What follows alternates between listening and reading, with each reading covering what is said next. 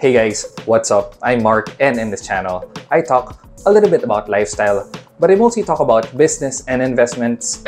I'm glad to let you guys know that after 4 long months since releasing my first video on it, Gcash has finally released GCrypto. Now I don't know what took them so long to release this, but I'm not gonna criticize them for it. I'm just glad that after having put this icon in our Gcash app and teasing us about it, GCrypto is finally here. Now in this video, I'm going to be giving you a quick review of Gcash's GCrypto and for the most part, I'm going to be comparing this to its most obvious competitor, which is the crypto feature available via Maya.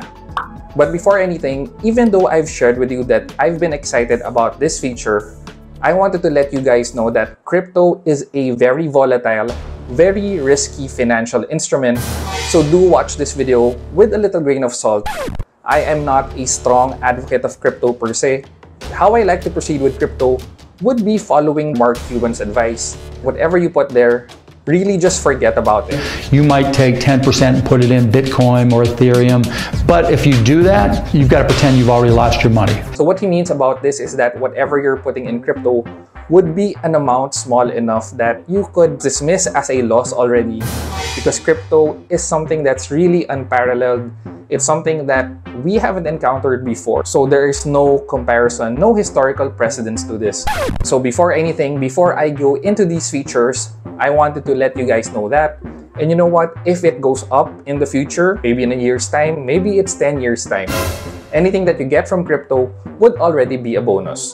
So again, proceed with a lot of caution and be very prudent. And with that disclaimer in place, let's go, let's find out what G Crypto is all about. So there are a handful of observations that I've had about G Crypto since using it in the last week. When you are trying to buy your first crypto after registration, what's noticeable is that you actually have to fund your G Crypto wallet separately. For Maya, you can actually use your entire wallet when you are buying crypto it's not really such a big hassle if I'm totally being honest. But it's just another step that you have to do. So for this minor inconvenience, this is somewhat a point against Gcash. I understand that Gcash is doing this with a third-party provider, which is PDAX or PDAX. Uh, I'm not really sure. It's a little different also with GFunds. GFunds partners with Atram, but you don't have to have a separate wallet for Atram. So uh, I don't know why uh, this is the implementation that Gcash did for GCrypto, but this is the first note that I just have to point out to you guys. So number two, another notable thing that I can point out about GCrypto, GCrypto has launched with 22 different cryptocurrencies. For Maya right now, I counted, it's only at 20. So this is a minor note because these things can be added onto or maybe removed from in the future in terms of diversity, right now, Gcash has the upper hand. Let's move on to number three. Here we are starting to get into the meat of the matter more. When Maya launched, one of the key features that they really pushed would be buying crypto for as little as 1 peso. So I was actually surprised to see that GCrypto did not match this. You actually can't buy Bitcoin for less than 100 pesos.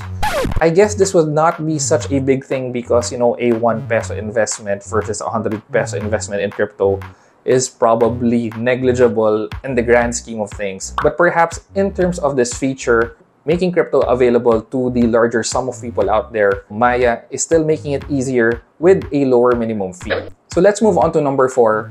This time, I actually compared the exchange rate of Maya versus GCrypto for those of you who are really familiar with the movement of crypto, you know that it's moving practically every second. Its price is being traded 24-7 and really across the global markets.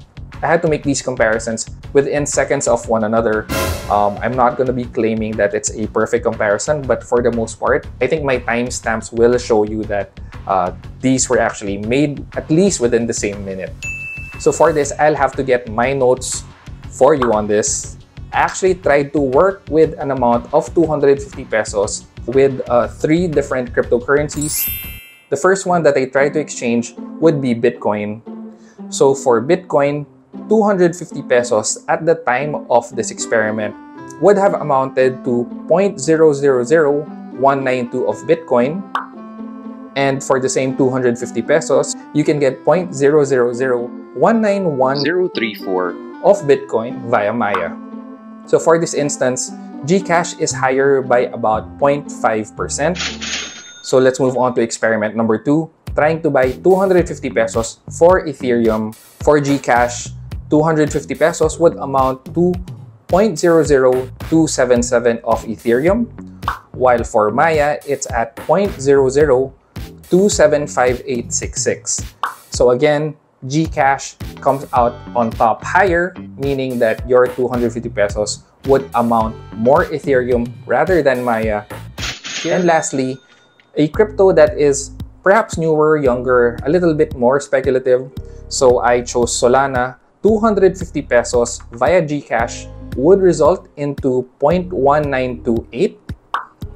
And for Maya, that 250 pesos would amount to 0.1915120. So for all instances, Gcash actually gives you a better exchange rate versus Maya. But, and I have to point this out here, I am hoping that Gcash is presenting the accurate amount that you can get from your money because I have a feeling and um, I'm trying to figure it out. I feel like Gcash might be rounding up. Um, you know that these decimal places, 5th, 6th, 7th, or 8th degree, these still would matter. So it seems that Gcash, Gcrypto is giving a better exchange rate.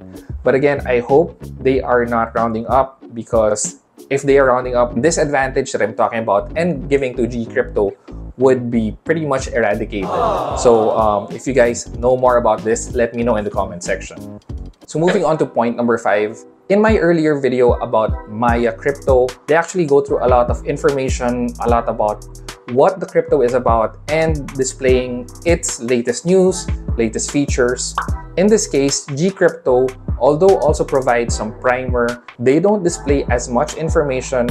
For Maya, they do give those latest news, and these are just links to articles that I'm sure you can Google. But in this case, Maya has some advantage over Gcrypto. This is just a minor feature, but for this purpose of this video, I just wanted to point it out. And lastly, number six, this would be sort of a comparison of Gcrypto and Maya together versus other platforms out there. So for me, I see that Gcrypto and Maya would really be just a starter for you to get into crypto. When you buy or sell out of your crypto position with these two platforms, you are generally going by the market rate. Whatever the price is trading is the only price that you can buy or sell your cryptocurrency. And I guess how this would differ with other platforms, my experience would previously be with Binance and a little bit with eToro. So for these platforms, you can actually set a buy or sell target price you're not at the mercy of whatever market value of your position at that very moment. For purpose of beginners, that's probably a feature that you won't need, but it's something that you might want in the future. And in my earlier video last year about Maya Crypto, I actually compared the exchange rate of CoinsPH with Maya. CoinsPH actually still comes out better. Maya and Gcrypto are actually very close in terms of their exchange rate. Um, CoinsPH is also for beginners, but I feel that their exchange rates are more friendly and providing you better bang for your buck. So with that, what do I think about Gcash's Gcrypto? Um, I actually think that Maya and Gcrypto are quite similar. I mean, I don't think one is overly advantageous over the other. I wouldn't really consider these as game changers or something that would make me heavily consider one telco e-wallet over the other. I might still consider the other platforms that I mentioned if you really wanted to get deeper into cryptocurrencies. But again, getting deeper into cryptocurrencies might not be the best thing. Ultimately, it's up to you. And my only real advice is that for crypto, only put what you can already lose. If you've liked this video, please don't forget to like, comment, and consider subscribing if you haven't already. Thanks again for watching guys and happy investing.